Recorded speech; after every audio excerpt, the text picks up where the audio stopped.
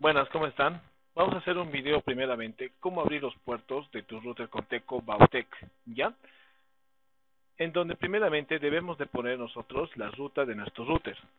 Por defecto siempre Conteco pone el IP 10.0.0.2 como la ruta del router, ¿ya?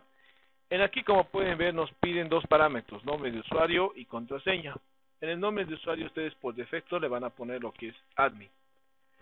En la contraseña lo que tienen que hacer es lo siguiente. Tienen que ustedes escribir la palabra clave que es N barra baja A4. ¿Ya? Y por delante deben de poner la clave Wi-Fi que se les ha otorgado a la empresa de Conteco. En mi caso sería ABCD 12345. ¿Ya? Digamos que esta es la contraseña por defecto que se me da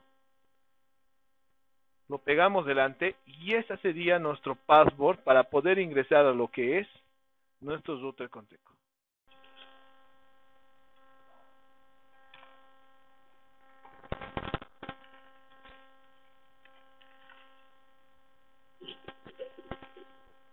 Ahora, como podemos ver, nuestro router se, ha logrado conectar.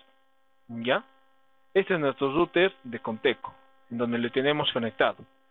Ahora lo que debemos de hacer es lo siguiente, nos vamos a Advanced, ¿ya?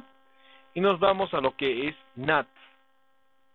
En la parte de NAT, vemos que en la parte izquierda tenemos las siguientes opciones.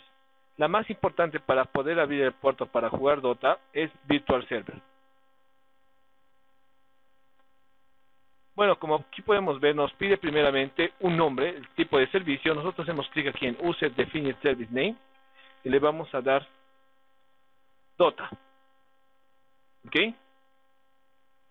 Luego aquí le indicamos el protocolo. Para jugar Dota siempre es el TCP. Y aquí lo dejamos por defecto en One Settings, interfase, One Interface PPPoE1. Y luego en el puerto del One le vamos a poner 6112, que es el puerto para jugar Dota.